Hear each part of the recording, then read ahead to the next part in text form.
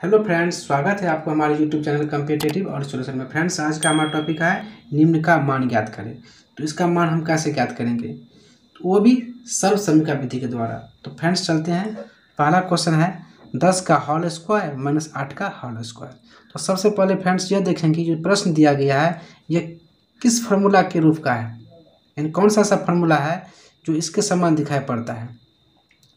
तो A square ये किस रूप में आ गया? A square minus B square यानी कि इसको अगर हम ए मानते हैं, इनको हम बी मानते हैं तो ये हो गया ए ये हो गया B A square B square यानी कि इसका फॉर्म देकर पता चल गया है जो यह A square minus B square के रूप का है।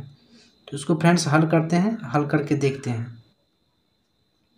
लिखेंगे यहाँ पर दस का होल स्क्वायर माइनस आठ का होल स्क्वायर ठीक है फ्रेंड्स तो किस फार्मूला पर चला गया? तो A square minus B square पर। यानी इसको अगर हम ए मानते हैं, इनको बी मानते हैं तो दिखाई पड़ता है A square minus B square तो यहाँ पर लिखेंगे सूत्र से। सूत्र से A square minus B square बराबर होता है A plus B into A minus B ठीक है फ्रेंड्स ऐसा करते हैं आप लोग समझ रहे होंगे। फिर यहाँ पे ए का मान कितना है? यहाँ पर दस। यहाँ पे कितना देंगे फ्रेंड्स दस। स्क्वायर है तो स्क्वायर। फिर माइनस है तो माइनस। बी का मान कितना है? आठ। तो यहाँ पर कितना देंगे? आठ। स्क्वायर है तो स्क्वायर। फिर बराबर है तो बराबर।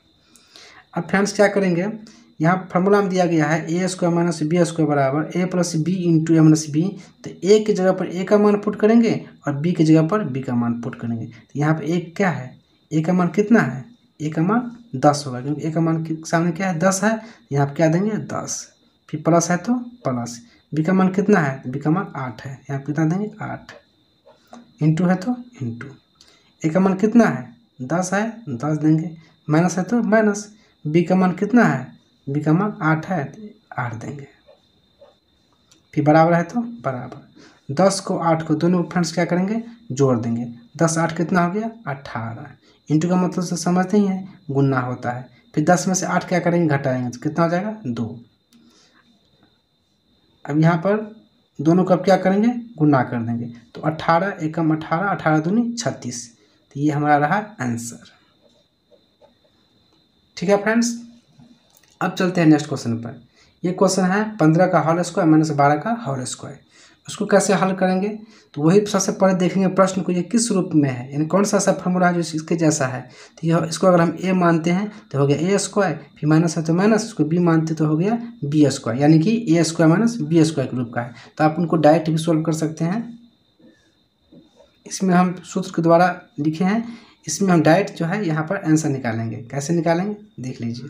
तो यहाँ पर है पंद्रह स्क्वायर माइनस बारह स्क्वायर ठीक है फ्रेंड्स तो यहाँ पर लिखेंगे पंद्रह का होल स्क्वायर माइनस बारह का होल स्क्वायर अभी किस रूप में है? अगर फार्मूला याद रहेगा तो डायरेक्ट भी बना सकते हैं।